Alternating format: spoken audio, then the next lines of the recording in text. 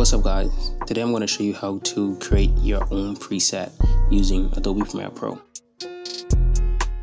Before we get into that, I just want to say I appreciate everybody that's been um, subscribing to the channel recently. I think we a little over 700, but near a thousand, so that's very good. Um, I want to do a lot more for the channel coming in the near future. So for those that subscribe, I truly appreciate it and I hope you stay tuned for more videos, more tips, anything to help you guys. So here in Adobe Premiere Pro, um, let's say we have a sequence music video, um, whatever you're working on at the moment, and you want to apply a effect to that clip or on a transition, but you want to use it elsewhere too. So being able to create and save your preset helps um, I've done this many times. This helps me speed up my editing process instead of reconstructing the um, the effect over and over. I'll just simply drag and drop, which is a plus. Um, it can be anything simple as a zoom or a flicker and anything in particular that you just want to apply quick. I think using this will help you.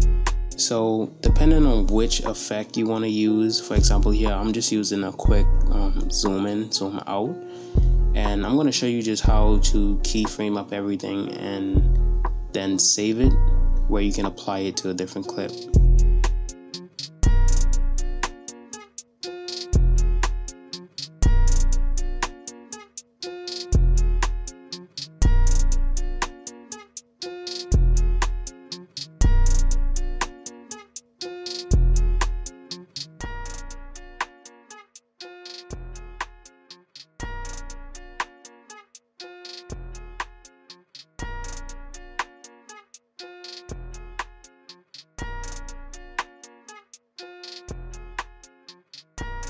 That effect actually looked better than the original video.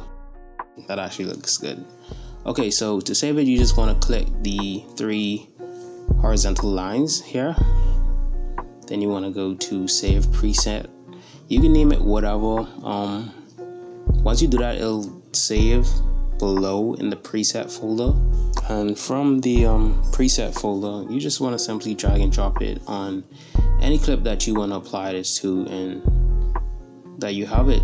Um, it's a simple trick to learn, but it's really effective because a lot of time you would have to normally reconstruct each effect.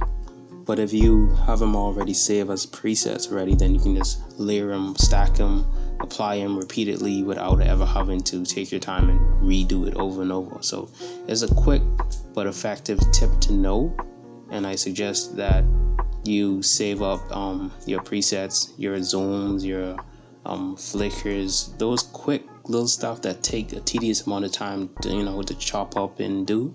Once you save them, you can apply them over and over.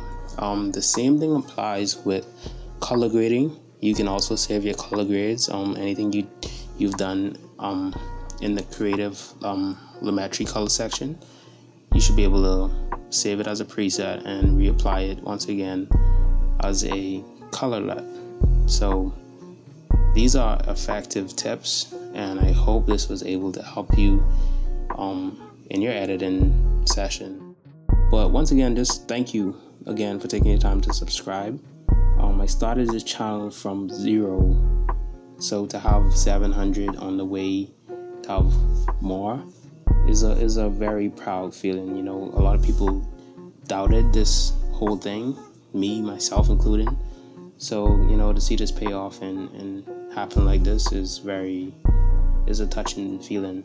And I appreciate it because this is what I do daily. Uh, I don't work um, for anybody, I work for myself. So it's a, it's a nice accomplishment to have. So I appreciate it. Um, you guys take care and see you in the next video.